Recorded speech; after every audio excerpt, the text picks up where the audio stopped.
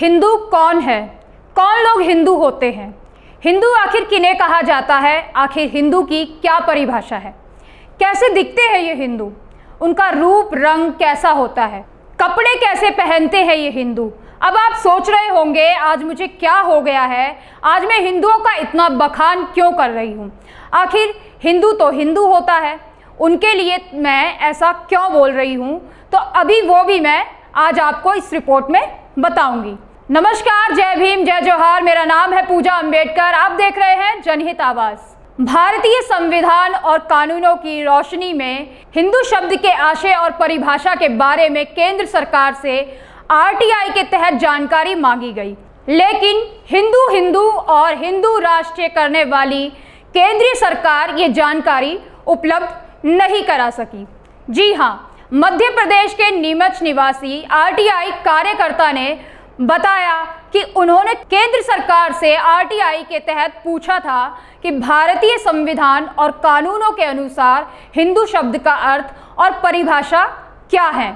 तो गृह मंत्रालय से ऐसा जवाब आया कि आप सुनकर भौचक्के रह जाएँगे। जी हाँ गृह मंत्रालय से जवाब में कहा गया कि केंद्रीय लोक सूचना अधिकारी के पास अपेक्षित सूचना उपलब्ध नहीं है।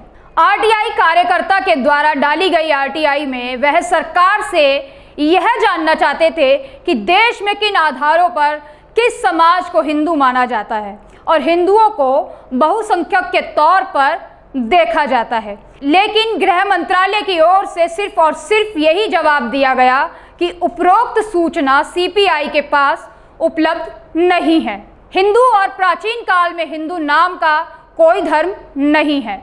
हिंदू केवल फारसी शब्द है। हिंदू शब्द ना तो वेदों में है, ना पुराणों में है, ना ना उपनिषद में है, ना अरणायक में है, ना रामायण में है, ना ही महाभारत में है। खुद दयानंद सरस्वती ये बात कबूल करते हैं कि ये मुगलों द्वारा दी गई गाली है।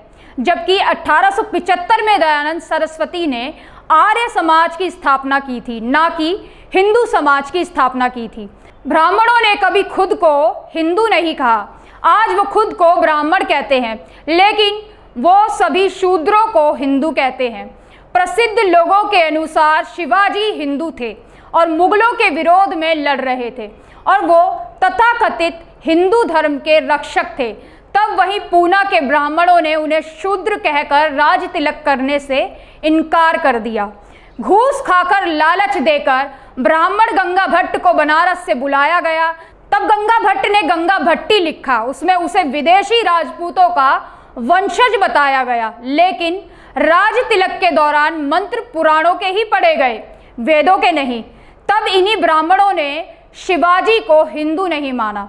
मुगल कालीन अभी अभिलेखों के अनुसार ब्राह्मणों ने मुगलों से कहा कि हम हिंदू नहीं हैं, बल्कि तुम्हारी तरह ही विदेशी हैं। परिणाम अनुसार सारे हिंदुओं पर जजिया लगाया गया, लेकिन ब्राह्मणों को मुक्त रखा गया।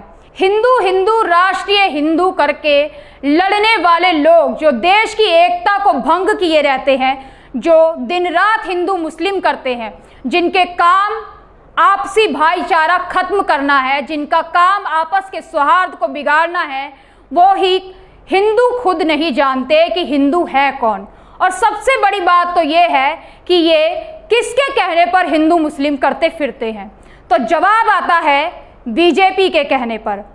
जी हाँ चाहे वो आरएसएस हो या फिर बजरंग दल वाले हो या फिर विहिप दल वाले हो, ये सभी हिंदू हिंदू करते नहीं थकते। और यही हिंदू राष्ट्रीय हिंदू वाले लोग हिंदू धर्म की आड़ में अपना व्यापार चला रहे हैं और केंद्र में बैठे अपने आकाओं के इशारों पर काम करके देश के माहौल और भाईचारे को नफरत में बदलकर नफरतों का शहर बना रहे हैं। इसमें यही लोग शामिल नहीं, बल्कि देश की गोदी मीडिया तक शामिल है। अगर आप आज भी नहीं जागे तो हिंदू मुस्लिम और हिंदू हिंदू करके यही केंद्र में बैठे लोग और दल वाले लोग आपको इसी तरह लड़ा भिड़ा कर संसद और केंद्र में बैठकर मलाई खाते रहेंगे और आपके हक अधिकारों को ऐसे ही डकारते रहेंगे और आपके बच्चों को ऐसे ही भिड़ने लड़ने के काम में लगाकर अपने बच्चों को विदेश में पढ़ाएँगे। अगर आप मेरी बातों से सहमत हैं या असहमत हैं तो अपनी प्रतिक्रिया ज़रूर दें, क्योंकि आपकी प्रतिक्रिया बहुत ज़रूरी है। शुक्रिया।